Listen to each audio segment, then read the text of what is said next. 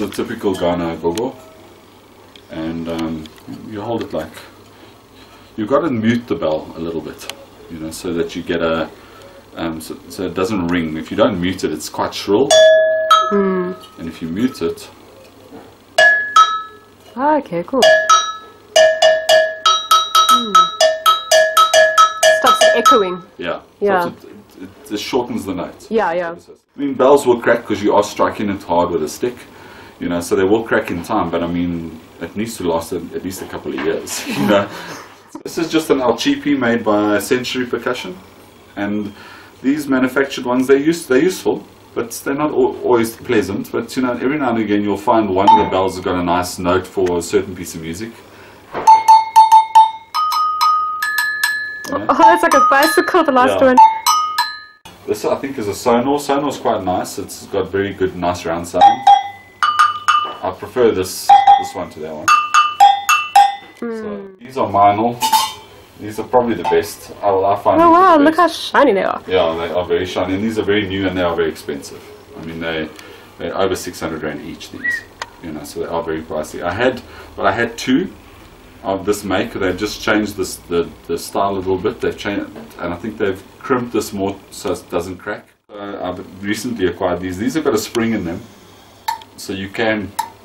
Ah, add an extra, Yeah, you or even use it as a percussion kind of sound Yes, if you want exactly. to. So, so uh, these are quite. I mean, you're going to get some really strong ass wrists from doing this. Yeah, yeah. But uh, this one's a little easier. But I mean, they these are very sweet. Eh?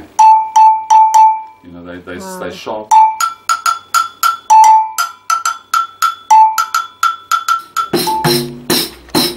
And these these are used mostly in uh, capoeira and, Oh, yeah. Latin, but I like to use them for the Arabic stuff because they got an Arabic feel as well. So yeah, The cabasa is a, a, a Latin instrument. You Yeah. can either play it just by, you know, twisting it around, yeah.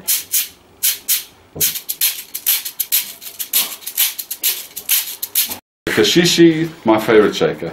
Most people aren't as mad about them as I am, but uh, I love them just because of their versatility. You can do anything with them. Yeah.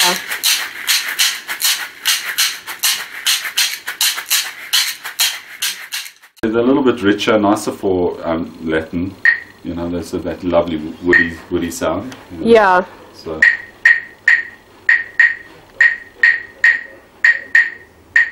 The reason why eggs are more popular is because of you've got a long note and a short note. So you can do that's a short note, long note, and a soft and muted note. So you can Yeah. also do Yeah. eggs, little eggs. Just wonderful, so so soft and.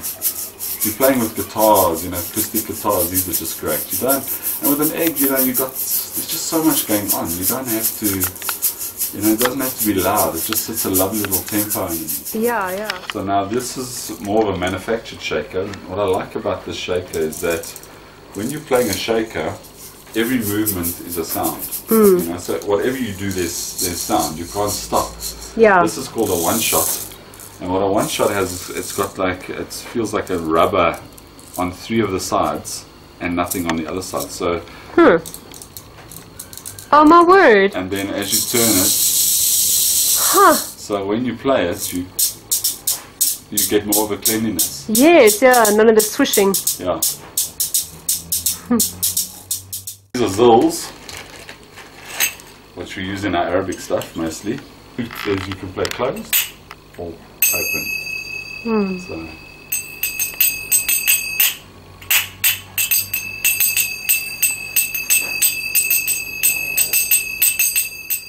This is called a djabara or a shekere, and um, they're mostly played like this, and you can also play them like this. You, know, you can also do these. Mm. This is a guiro. I love it.